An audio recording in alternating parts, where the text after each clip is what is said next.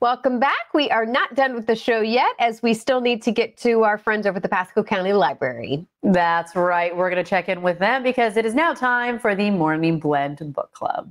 Hi, I'm Jeffrey Wakovich with Pasco County Libraries. Today, I'd like to talk about my Morning Blend Book Club recommendations, both of which are perfect for fans of Gillian Flynn's number one bestseller, Gone Girl. My first book is Behind Her Eyes by Sarah Pinborough. This psychological thriller is in a tier with the best. The story follows two narrators.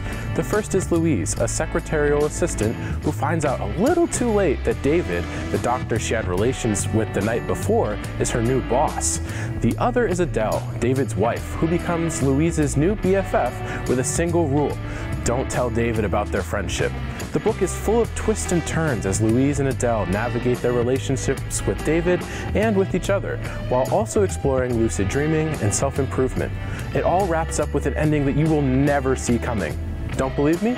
Looks like you'll just have to find out for yourself. My next book is Who is Maud Dixon by Alexandra Andrews. This book follows a 26 year old editorial assistant named Florence who wants nothing more than to be a novelist.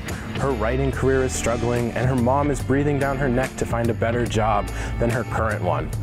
When an affair with a company bigwig leads to her being fired, she is presented with a once in a lifetime opportunity to be the assistant of Maud Dixon, the pen name for a mysterious author who wrote a hit debut novel that took the nation by storm. This job takes Florence and Maud to Marrakesh, where opportunities and problems arise with equal fervor.